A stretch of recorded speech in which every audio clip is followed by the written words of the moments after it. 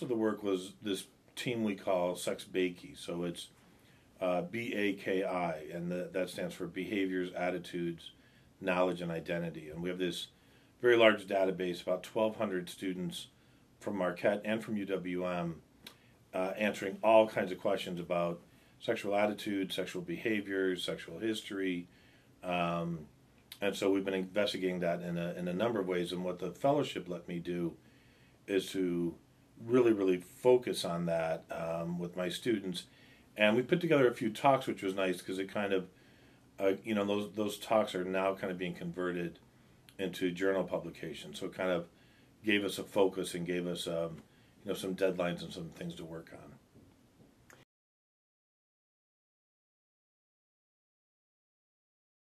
In terms of approach, I, I really would want folks to know it's very collaborative. You know, I'm the PI, and so my name is on everything.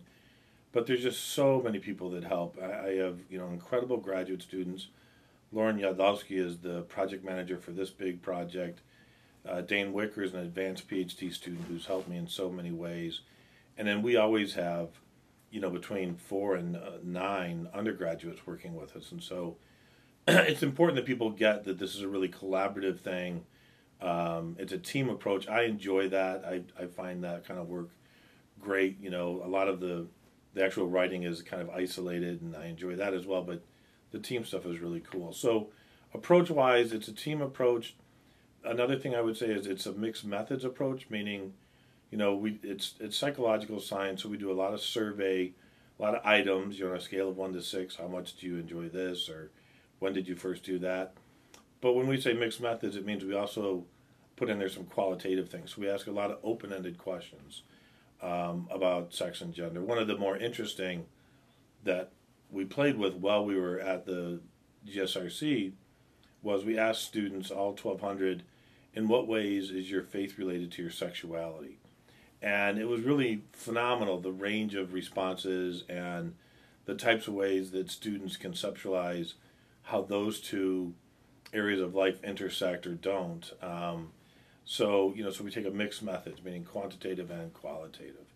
Um, and then the third thing I'd say about the approach stuff is we kind of like to ask big questions. You know, a lot of science, which I respect, makes kind of incremental, small developments in the advancement of our knowledge. We really sat back with this project and wanted to ask a big, big question. So, um, you know, moving to kind of some of the, the more interesting findings um, you know, we really wanted to look at at whole at kind of the entire human, the the student, in terms of their sex and gender. So it wasn't just a slice of, you know, how does your number of sexual partners relate to, you know, your political attitudes. I mean, we have that data and we can answer that, but we wanted that along with a lot of bigger questions about who they are, about their identity, about um, you know, their their other experiences outside of sexuality, their personality. We have data on personality, on faith, on family dynamics, and so we're we're kind of taking you know big big big questions.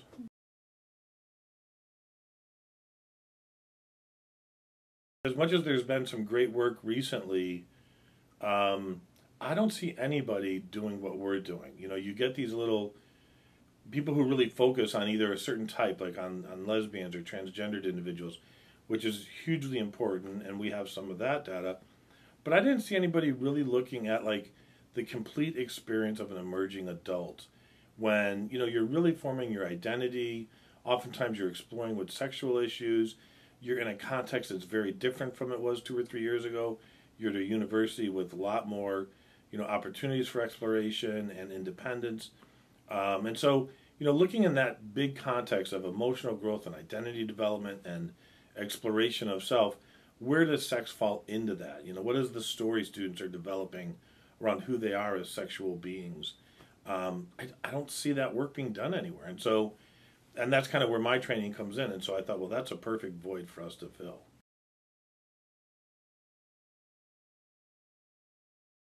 long history at Marquette of working on sex and gender issues around establishing the GSRC or, you know, working with the the um, the GSA, the student body, and um, you know we.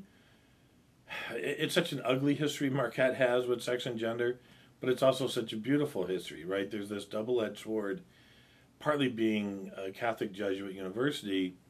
Um, it, it's wonderful because the social justice part of that mission speaks to inclusiveness and diversity and reaching out to you know those who are marginalized and i've always been such a huge advocate for that approach and I here we have a mission saying this is who we are but you also have a kind of more conservative catholic you know uh, veil that um, has some pretty pretty rough attitudes and pretty rough history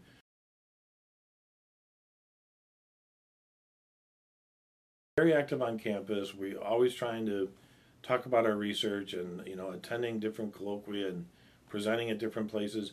And then you know in terms of our discipline in psychology, we're publishing as much as we can and trying to get psychologists to talk about this stuff.